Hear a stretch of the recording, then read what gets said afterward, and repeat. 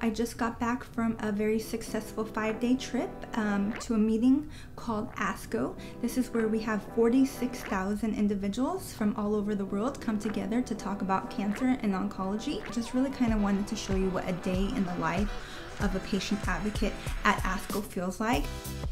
My name is Aki Smith. I'm a caregiver, patient advocate, and founder of Hope for Stomach Cancer. I had a booth from 9 to 5 p.m. Saturday, Sunday, and Monday.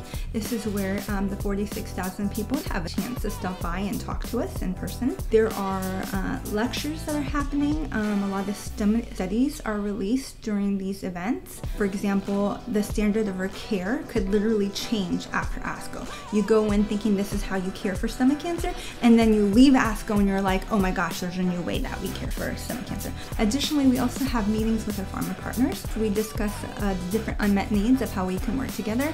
And lastly, we have a gazillion receptions that we do at night. It's really crazy. I mean, you, you wake up at 5 a.m. and you don't go to bed until 12 p.m., but you know what? It's all in good fun. I mean, it's amazing to push progress forward and it feels great to being a patient advocate. But let me tell you, we are exhausted.